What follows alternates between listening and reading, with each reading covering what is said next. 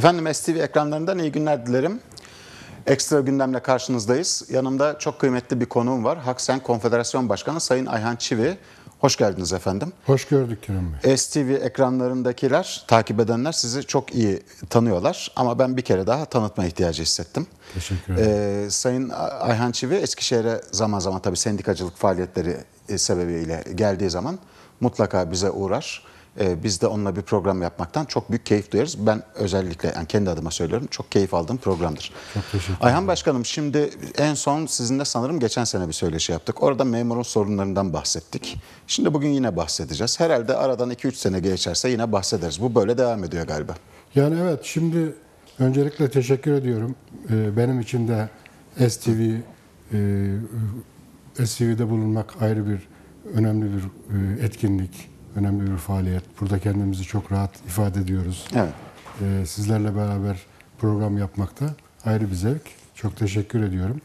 Tabii ülkemizde e, bundan birkaç yıl önce bir gazete küpürü geçmişti elimize. Demokrat Parti'nin e, iktidar olduğu dönemde Ulus Gazetesi 1950'ler. 50'ler tabii bizden çok önceki yıllar. Evet. Orada bir manşet dikkatimi çekmişti. Memurun konut sorunu çözülecek diye. yani şimdi e, Ben de gazeteciyim. O, küpürü keser keser yapıştırırız biz o zaman da yani. Dolayısıyla da biz e, sizinle geçtiğimiz yıl toplu sözleşmeden önce evet. program yapmıştık. Ve pek E şimdi konuyu- yenisi geliyor. Orada yenisi gelecek neredeyse. E, maalesef e, sorunları kökten çözmek yerine e, sadece pansuman tedbirlerle Evet. bu işler ele alındığı için e, sorunlar katlanarak devam ediyor. Ve her defasında da bizler açısından da e, mücadele alan, alanları oluşuyor. Evet. Şimdi sizinle neleri değerlendireceğiz? E, Öncelikle bir banka promosyonları meselesi var. Bu konuda görüşlerinizi almak istiyorum. E, Çalışma yaşamının en önemli sorunlarından bir tanesi sözleşmeli personeller. Bununla ilgili görüşlerinizi almak istiyorum. Sendika olarak nasıl önerileriniz var? Bunlarda da sizi dinleyeceğiz. E, ayrıca bir merdiven altı e, şey vardı bir ara. Yakıştırması oldu bizler Yakıştırması için. olmuştu. Ondan da gerçi konuştuk ama bir kere daha sorarız. İsterseniz banka promosyonlarıyla başlayalım. Son zamanlarda çok gündeme gelmeye başladı. Gündeme gelmeyecek gibi de değil. Gerçekten çok güzel rakamlar telaffuz ediliyor banka promosyonlarıyla ilgili. Ancak sizin sanırım Cumhurbaşkanlığına bir müracaatınız oldu, bir şikayetiniz oldu daha doğrusu. Biraz anlatabilir misiniz o konuyu? Tabii şimdi e, biliyorsunuz ülkemizdeki ekonomik olağanüstü ekonomik şartlardan dolayı enflasyonun bu kadar yükselmesi, memurun, çalışanın, emeklinin alım gücü düşmesiyle beraber banka promosyonları bir anda gündem oluşturdu. Evet. Zira e, kamu kaynaklarından yeterince payını alamayan kamu görevlileri, işçiler, emekliler en azından promosyonlar yoluyla bir nebze olsun bir gelir elde edebilir miyiz e, kaygısı içerisine girdiler ki bana göre aslında bu duruma gelinmemesi de gerekiyordu. E, yani banka promosyonlarının bu kadar önemli hale gelmesinde bana göre memur ve emeklinin yaşadığı ekonomik sıkıntılar önemli bir etken. Evet. E, Burada tabii geçtiğimiz yıllarda e, bankalar e, ortalama söylüyorum işte 5 bin lirayla 10 bin lira arasında civarında Promosyon personelin veriyorlar. ortalama gelirine göre promosyon veriyorlardı. Gerçi geçen senenin 5000'e şimdikiyle aynı değil ama bir anda fiyatlar çok anormal yükseldi. Tabii. Dolayısıyla e, bu anlamda da enflasyondaki e, bu yükseliş, memurun, emeklinin alım gücündeki e, düşüş sonucu bu rakamlar çok geride kaldı.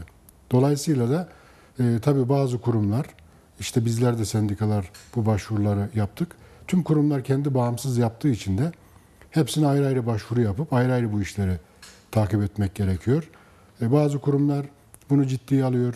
İşte bankalarla güncelleme görüşmeleri yapıyorlar. Hatta mevcut sözleşmeyi feshedip yeni sözleşme yapan kurumlar var.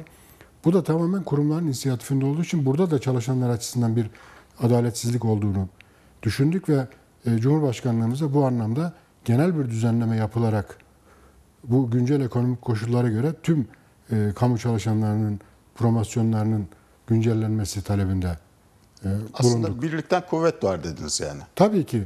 Pazarlık Sonuçta- gücümüz artar memur olarak dediniz anladığım kadarıyla. Tabii pazarlık gücümüz artar. Zaten e, bankalar tamamen e, Maliye Bakanlığı bütçesinden maaş ödemeleri yapılıyor.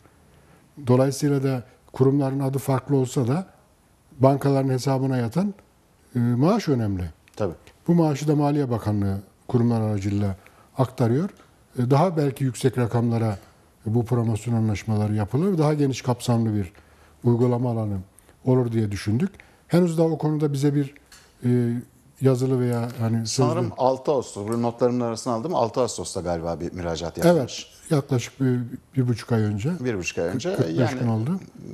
beklemek lazım tabii. Tabii ama şöyle, tabii başvurulara bazen geri dönüş olmuyor ama bu dikkate alınmadığı anlamına da Gelmez. gelmiyor. Yani bizim aldığımız duyumlara göre de o konuda Maliye Bakanlığı'nın da bir araştırma içinde olduğunu, e, belki bugün için değil ama önümüzdeki dönemler için bunu biz e, tek bir sözleşmeyle çözebilir miyiz noktasında araştırma yapıldığını biliyoruz. Burada önemli olan şu, sonuç itibariyle bankalar kimseye hatırı için promosyon vermiyor. Tabii bankaların ben size söyleyeyim şu anda herhalde son yıllardaki en mutlu dönemidir yani. Evet yani Türkiye'de evet. bu e, genelde ekonomik koşulların bu şekilde şartların değiştiği dönemlerde Merkez Bankası'ndan 3'e alıp 5'e verip falan arada bayağı iyi durumda bankalar E, şu anda yani. Tabii çünkü e, mesela kamu kurumlarına bu kadar ilgi göstermelerinin e, sebebi de bir ara bu ilgi azalmıştı. Evet. Şimdi e, bütün kamu personellerinin e, ek hesabı dediğimiz kredili mevduat hesapları sonuna kadar kullanılıyor. Yani daha maaş almadan Evet. büyük ölçüde KMH ek hesap tüketiliyor. E, kredi kartları son limitine kadar Kullanılıyor. kullanılıyor. Bilmez miyim? Evet. Yani e, yani bir nevi maliyeden alıyor memur bankaya E, Öyle maaşını oldu. teslim ediyor. Öyle oldu. E, bu da hazır garanti çünkü o sözleşmelerle beraber 3 yıllıksa 3 yıllık, 5 yıllıkta 5 yıllık garanti müşteri. Yani siz isteseniz de artık o bankayla o ilişkinizi koparamıyorsunuz kurum sözleşmeyi feshetmediği sürece. E, bunun yanında EFT'si var, havalesi var, fatura ödemeleri var. Bu bankalar için ciddi bir garanti müşteri potansiyeli oluşturuyor. Yani aslında müşteriyi bağlıyorlar kendileri. Tabii ki. Babalarının hayrına vermiyorlar E yani. tabii. Şimdi stand kurup sokakta kredi kartı e, satacağına, kapı kapı dolanıp kredi kartı dağıtacağına, ben de eski bir bankacı olarak söylüyorum bunu. Hazır, e, müşterin var e, ve onu zorunlu kılıyorsun bazı şeylere. Dolayısıyla e, bankaların karları da e, kat be kat arttı son dönemlerde. E, biz de diyoruz ki sonuçta biz o karın içerisinde bir unsursak bunun çalışana da bir geri dönüşün olması lazım. O parayı, o karı sizin sayenizde yapıyorlar. Tabii ki hatırımız için vermiyor. Hatırımız için vermiyorlar tabii. O nedenle de e, sonuçta bu devletin hazinesinden çıkan bir para da değil. Evet. Bu noktada da bizim için çok önemli. Bazı kurumlarla e, bu başvurularımız olumlu değerlendirildi. Çalışmayı bazıları yaptılar. E, dolayısıyla şu anda da çok gündemde olan bir e, konu. Ve işte 25 binle yeniden anlaşma yapan var. E, 40 bin lirayla yeniden anlaşma yapan kurumlar var. Bunlar çok ciddi rakamlar. Çok iyi rakamlar tabii. E, bir memur için e, yani nakit bir hesabına yatan paradan söz Emekliler ediyor. için de yine Tabii. hiç fena olmayan paralar söz konusu. Yani emekliler de bankalar artık o, o alanda kendi rekabet güçlerini kullanarak emeklileri Aslında şöyle söyleyebiliriz başkan bilmiyorum siz ne düşünüyorsunuz? İşte emekli kredi kartı borcu var, uçan kışa borcu var. Bankada hesap değiştirerek, promosyon alarak aslında o borcu ödemiş oluyor. Yine o bankanın müşterisi olmaya devam ediyor. İşler biraz böyle devam ediyor yani. ya tabii zo- zorunlu bir ilişki var zaten. Zorunlu bir ilişkiye dönüyor. Birisiyle mutlaka o bankada bankacılık ilişkisini kurmamız gerekiyor. Kazanan da banka oluyor. Kazanan da bank oluyor. Dolayısıyla da şu anda çok gerçekten gündemde, haklı olarak çalışanların da gündeminde ama ben yine tekrar ediyorum. E, bence burada e, çünkü bazı kurum yöneticileri bu konuda isteksiz davranıyor. Evet. ipe un seriyorlar. Çünkü kendi cebinden çıkan bir şey yok aslında. Bunu bankayla görüşüp aynı bankayla da devam edebilir. Bir güncelleme yapılır. Ya da e, sözleşme koşulları yerine getirilip sözleşme fesli de yapılabilir. Örnekleri de var. Ama bu konuda isteksiz davranan yöneticilerimiz de var. Tabii bu konuyu ciddiye alıp üzerinde çalışan yöneticilerimiz de var. Ama bunu yöneticilerimizin çok keyfine bırakmadan e, Cumhurbaşkanlığımızın bu konuda çerçeveyi çizerek e, Evet. Bir düzenleme yapması gerekiyor. Sadece sendikacıların değil aslında yöneticilerin de bir şekilde kendi memurunun daha iyi maaş almak, daha iyi gelire sahip olmasını istemesi lazım işin doğrusu. Tabii. Ama tabii kimisi işgüzarca davranabiliyor, kimisi daha farklı bir şekilde davranabiliyor. Bence Cumhurbaşkanlığına başvurmanız, başvurmanız isabetli olmuş. Diğer sendikalar nasıl yaklaşıyorlar bu konuya? Güzel fikir sizden çıktı diye kıskanan oldu mu? Yani şimdi şöyle tabii e, bunu söyleme haline getirdiler ama Evet. şimdi biz daha önceden yazılı başvuru yaptığımız için Evet. bir yazılı başvuru ben rastlamadım bilmiyorum. Ama aklın yolu birdir. Yok ben de görmedim. Yani ince Evet. siz de yazılı başvuru. Evet. Tabii sonuçta e, hepimizin memur olarak amiri Sayın Cumhurbaşkanımız. Tabii. Ya biz de meramımızı kendisine ilettik. E, doğru bir başvuruydu bize göre. Ki genelde biz Haksen olarak bu tür e, nokta atışlar, yerinde atışlar Evet. yapıyoruz. Çünkü bizim e, kafamızın arkasında başka düşünceler olmadığı için biz tamamen kendimizi Bir ondan bir de çok sağlam da bir hukuk şeyiniz var. Part, partınız var, bölümünüz var galiba. Onlar da tık diye Tabii atış ki. edebiliyorlar. Evet. Tabii ki o da çok önemli. Yani ayağa kalkarken dayanaklarla ayağa Tabii. kalkıyoruz hani. Bir söz söylerken veya bir başvuru yaparken de o şekilde. Yani haklı bile olsanız bazen hukuku bilmezseniz eğer muvaffak olamıyorsunuz. Onu o çok önemli bir konu yani. Tabii o hem güven kaybına neden oluyor hem zaman kaybına neden oluyor. O yüzden sağlam argümanlarla bu da tabii sendikamızın yıllardan beri oluşturduğu bir birikimdir. Hukukçularımızın bu anlamdaki e, kendi ehliyetleridir.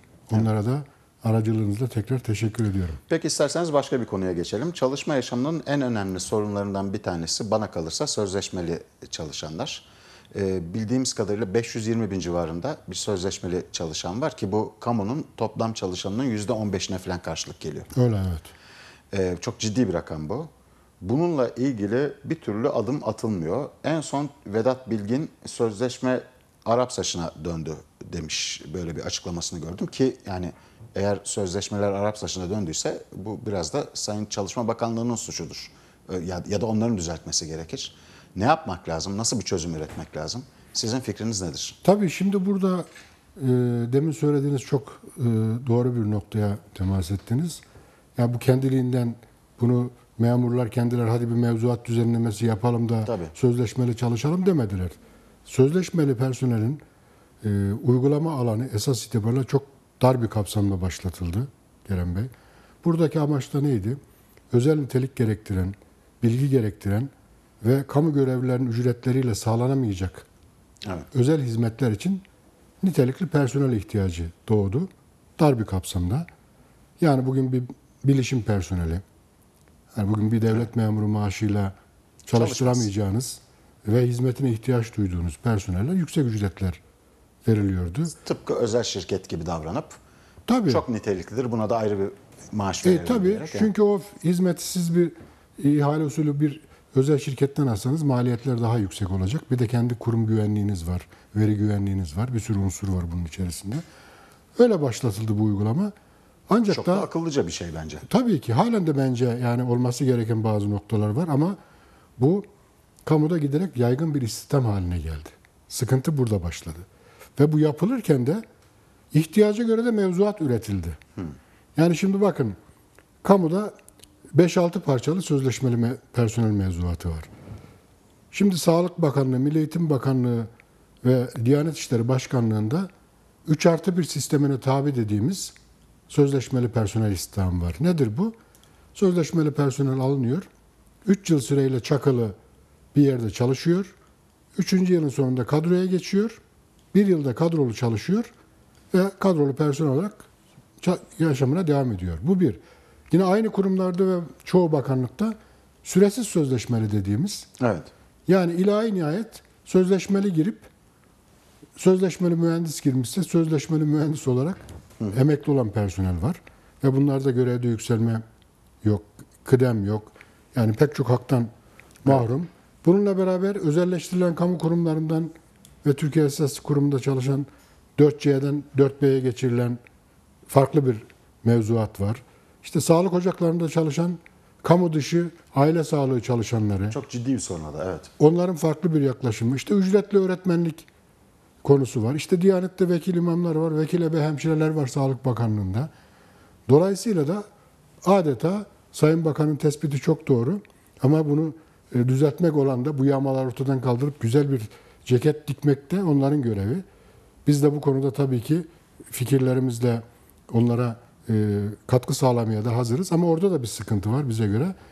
Ekim ayında parlamentoya bu düzenleme gelecek. Kadro düzenlemesi ama gerçekten kadro mu gelecek yoksa yine e, bir şeye benzetilmiş başka bir mevzuat mı gelecek onu da bilmiyoruz. Bizlere de paylaşılmıyor bu. E bunu peki yapmadan önce sendikalarla konuşmuyorlar mı? Maalesef şu anda görüşüldüğü tek sendika işte yetkili memur konfederasyonu. Onlarla görüşüyorlar. Halbuki Görüşmüyorlar yani. yani evet bence de yani bilinen şeyler konuşuluyor orada. Ee, ben şunu söylüyorum bu konuda gerçekten de yani bu ülkenin bir vatandaşı olarak bir sendikacı olarak değil kamu hizmetleri bir bütündür Kerem Bey. Bugün siz bir hastaneye gittiğiniz zaman alacağınız sağlık hizmetinin kalitesi sizin için önemlidir. Tabii. O hizmeti sözleşmeli mi vermiş, kadrolu mu vermiş, vekil mi vermiş? Beni ilgilendirmez. Sizi ilgilendirmez. Dolayısıyla da bu hizmetin herkese aynı şekilde kaliteli sunum için de personelin mali ve sosyal haklarının eşitlenmesi lazım. Kendi aralarında bir takım ayrımcı uygulamalarla zaten personel çalışma barışı bozulduğu için çalışma motivasyonunu da kaybediyor. Ve her defasında biz kendi yarattığımız sorunları, mevzuatla yarattığımız sorunları başka bir mevzuatla gidermeye çalışıyoruz. Onun için de biz Haksen olarak diyoruz ki tüm sözleşmeli personeli mesleki diplomalarına uygun olarak kadrolu e, kadrolara atansın ve bu sorun kökten çözülsün. Yine tabii ki çok zaruri durumlar için demin bahsettiğim dar kapsamlı durumlar için sözleşmeli personel uygulaması olabilir. Ancak Yani bunu aslında sistem çok yüksek maaş alacak az sayıda personel için icat edilmiş iken bizde düşük maaşlı çok sayıda personel çalıştırmak için uygulanıyor. evet Anladım. Yani burada da hem az e, yüksek maaş hem de belki kısmi süreli. Tabii. İhtiyacına kısmı 3 ay ihtiyacınız vardır. 3 aylığına sözleşme yaparsınız. Zaten bu bir sürekli kamu hizmeti değildir. Değildir. Ama diğer kamu hizmetlerinin tamamı bugün sözleşmeli personel eliyle yürütülen kamu hizmetlerinin tamamı sürekli kamu hizmetleridir. O nedenle de bu konunun bu şekliyle ancak çözüme kavuşacağını biz düşünüyoruz.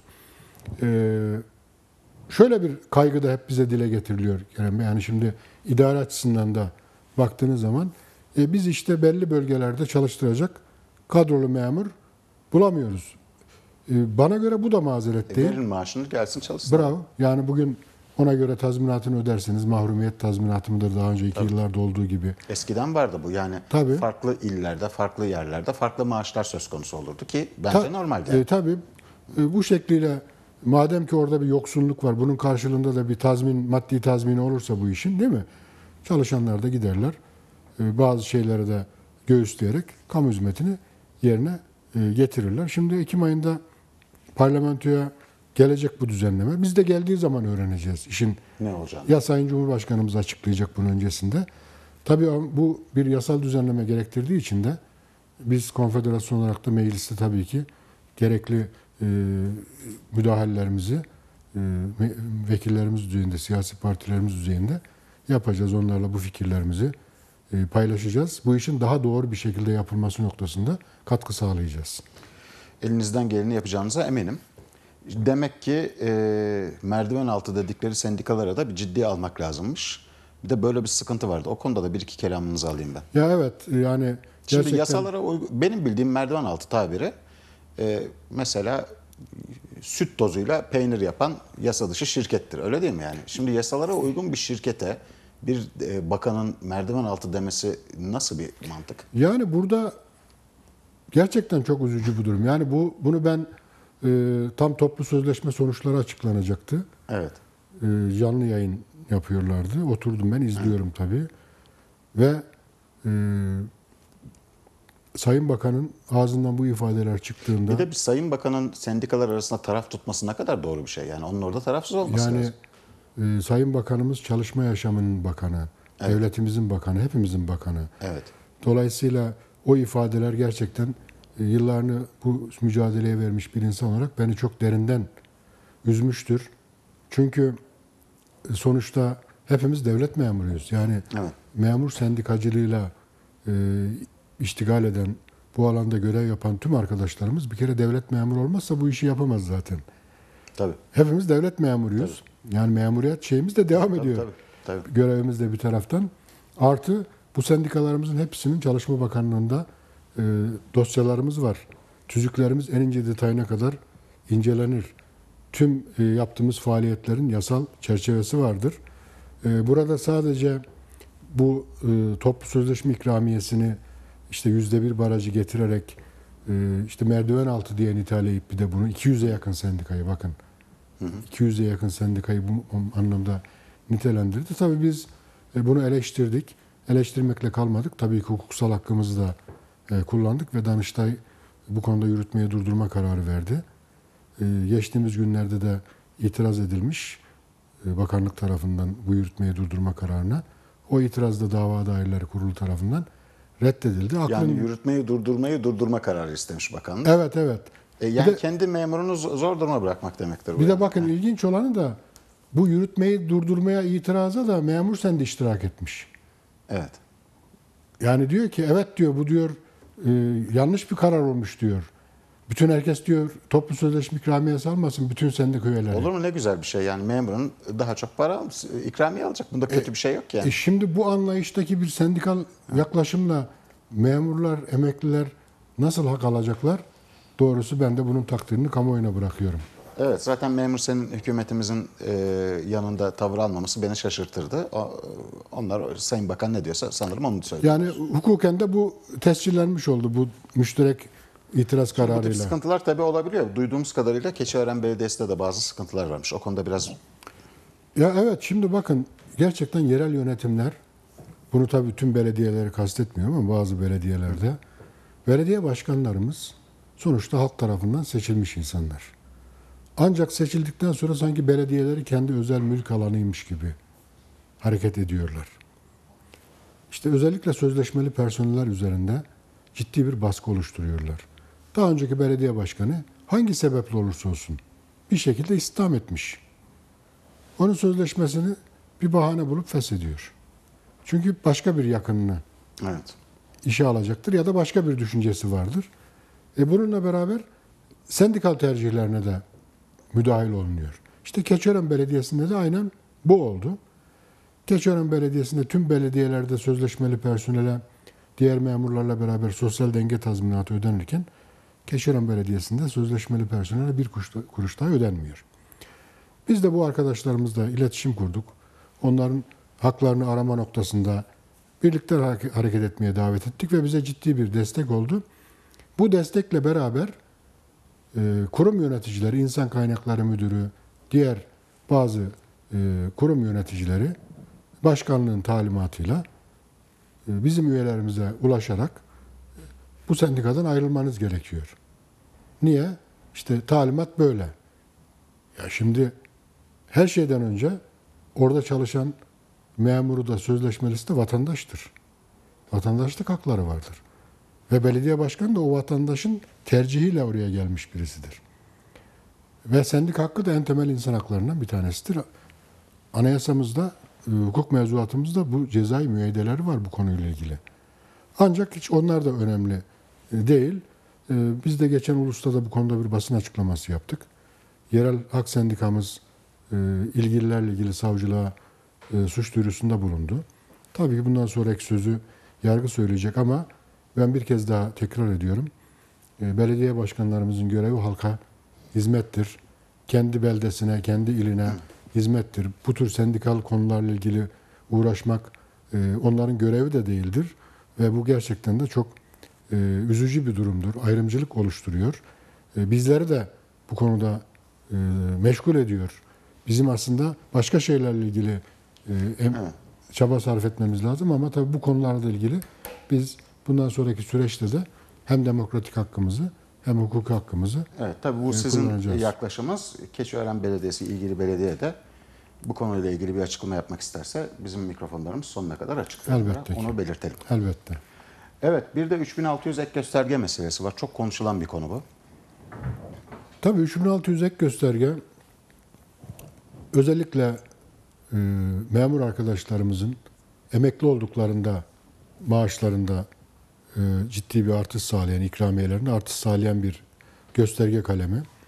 Bu konuda da vaatler vardı. İşte geçtiğimiz e, Temmuz ayının sanıyorum ikisiydi meclis tatile girmedi, girmeden bir gün önce e, bir kanun geçti. Orada da mesela çok sosyal taraflarla bu konular enine boyuna müzakere edilmeden bir düzenleme yapıldı ve kamu görevlilerinin büyük bir kısmı kapsam dışında bırakıldı. Evet. Dolayısıyla e, ve o yasayla da yetki Sayın Cumhurbaşkanımıza o cetvellerde düzenleme yapılma yetkisi verildi. Yani tekrar artık ikinci bir yasal düzenlemeye gerek kalmadan e, kapsam dışı kalan işte kamudaki şefler var, e, bilgisayar işletmenleri var, e, başka mes- meslek teknikerler var. Yani burada tek tek sayamayacağım pek çok meslek grubu var.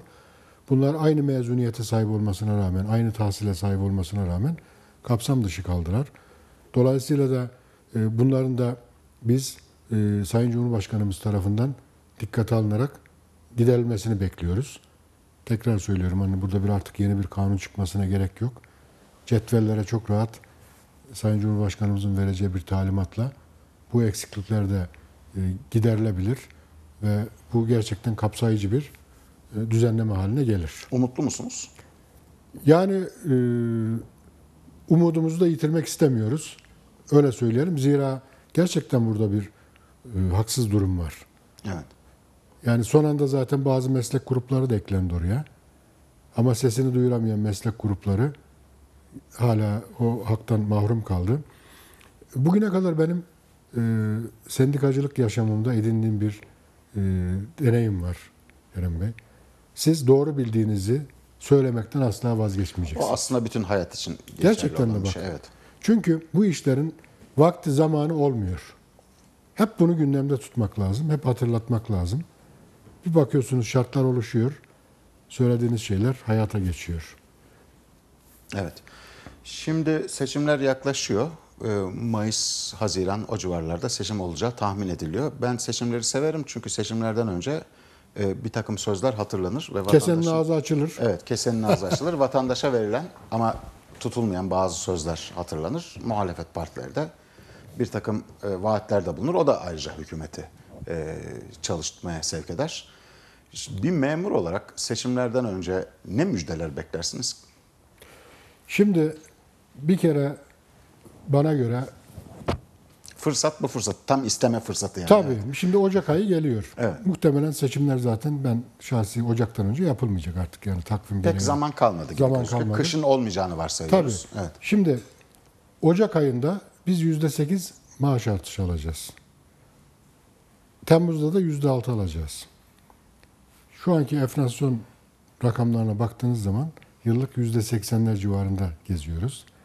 Tek seferde Ocak ayında bir yıl öncekinin gerçekleşen enflasyonu neyse onun verilmesini bekliyoruz. Bir müjde bekliyorsak, bir sürpriz bekliyorsak. Tabii niye Bir enflasyon ikiye bölünüyor ki? Tabii ki. Niye biz iki taksitte maaş zammı alıyoruz? Bunu bekliyoruz. İkincisi 3600 ek gösterge konusunda demin söylediğim gibi bu gösterge rakamlarının gerçekten de adaletli bir şekilde verilmesini bekliyoruz. Yani tahsiline göre, kıdemine göre bunlar tekrar revize edilebilir bu cetveller. Ee, Görevde yükselme ve ünvan değişikliğine liyakat bekliyoruz. Şimdi görevde yükselme sınavlarında yazılı ve sözlünün ortalaması alınıyor. Evet. Yani siz diyelim ki 90 aldınız yazılıda ve ilk 10'a girdiniz. Kurumada Çok büyük başarı. tabii kurumada 30 kişi alınacak. Sonra mülakatta öyle sorular yazılıyor ki tamam yani zarf usulü oluyor ama orada öyle sorular yazıyor ki mülakatta size 50 veriyorlar. Düştü sizin ortalamanız 140'tan 70'e. 70'e düşüverdi. Evet. 70'e düşüverdi. E kusura bakma diyorlar sen başarılı olamadın. Bize göre görevde yükselmelerde mülakat tamamen Çok sübjektif bir şey. torpildir. Şimdi zaten bu e, sınavların açılmasının sebebi torpili önlemek değil miydi? e tabii ki sınav niye yapılır? Ölçmek için yapılır. Dolayısıyla zaten ölçtüğünüz personel de o kurumun personeli. Yani bir şef şube müdürlüğü sınavına girecek. Zaten o başka bir sınavla şef olmuş önce. Belli bir hizmet süresini tamamlamış. Şube müdür olacak. E, tekrar seni bir de mülakat yapalım. E, ve bana göre en önemlisi çalışma yaşamında paydaşlarla e, bir ayrımcılığı değil, tüm paydaşları kapsayan, kucaklayan bir müzakere yolunun seçilmesi gerekiyor. Yani bir sendikal ayrımcılık kısacası. Ya bugün Türkiye'de maalesef her iktidar kendisine göre sendikayı oluşturuyor. Bu bilinen bir gerçek. Maalesef. O zaman sendikanın sosyal taraf özelliği ortadan kalkıyor. Tabii. Sendika nedir? Normalde çalışanın yanında taraf olması gereken bir kuruluştur. Yani evrensel tanımı budur. Yapısı gereği sendika zaten patronun yakasına yapışıp e, hak isteyen Evet, çalışan Patron adına. da sizin e, şeyde hükümet oluyor, devlet Tabii oluyor. ki devletin devletimizi yönetenler. Kamu yönetimi oluyor. Tabii ki. Evet.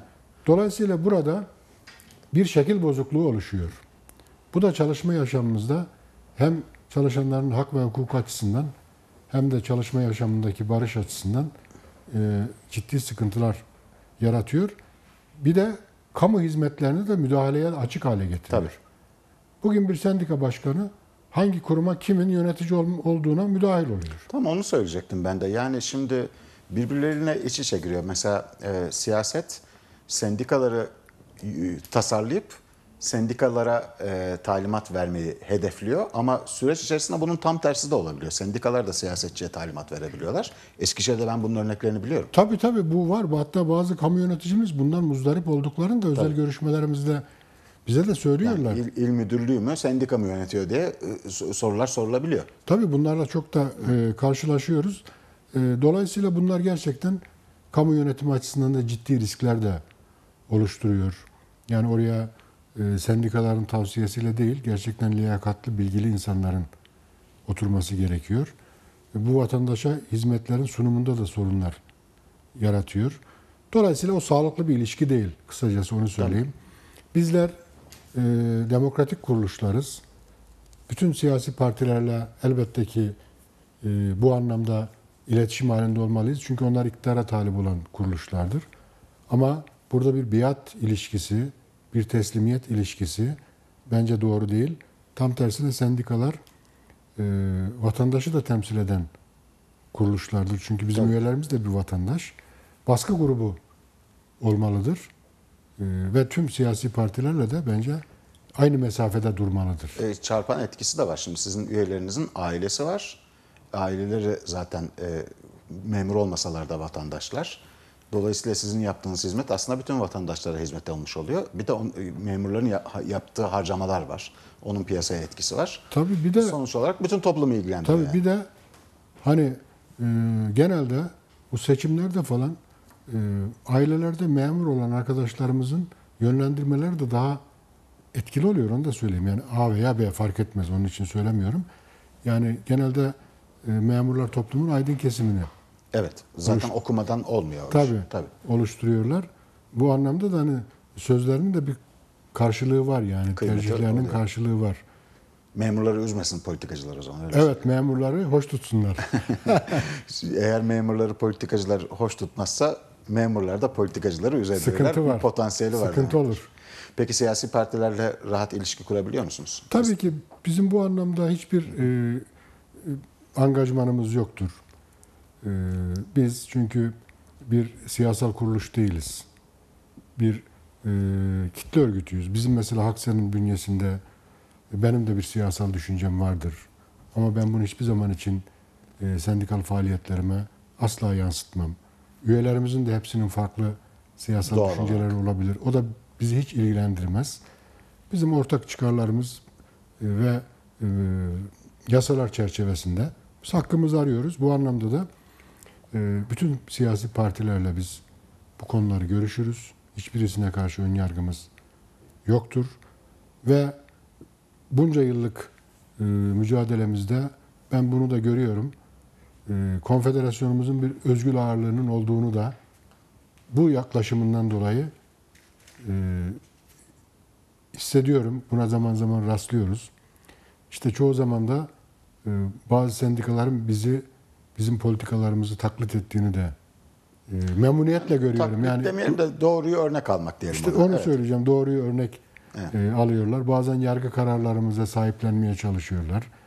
E, e, sonuçta tabii ki çalışanlar için e, bu argümanlar kullanıldığı sürece biz bundan gurur duyarız. Evet efendim süremizin de bize ayrılan sürenin de sonuna yaklaştık. Söylemek istediğiniz bir şey var mı? Ee, Çok teşekkür ediyorum. Özellikle STV televizyonumuza, sizlere. Evet. Bizi konuk ettiniz. Her zaman burada özgür bir şekilde e, kendimizi ifade ediyoruz. Bunu özellikle altını e, çizmek istiyorum. E, Buna vesile oluyorsunuz. E, bizi izleyenlere ve size tekrar çok teşekkür ederim. Efendim biz teşekkür ederiz. Vazifemiz toplumun farklı kesimlerinin sesine e, kulak vermek ve onlara e, bir aracılık yapmak. Evet, bugün bize ayrılan sürenin sonuna geldik. Ekstra gündemdeki konuğumuz Haksen Konfederasyonu Başkanı Sayın Ayhan Çivi'ydi. Çalışma yaşamına ilişkin önemli açıklamalarda bulundu. Bir başka programda yeniden görüşebilmek umuduyla hoşçakalın.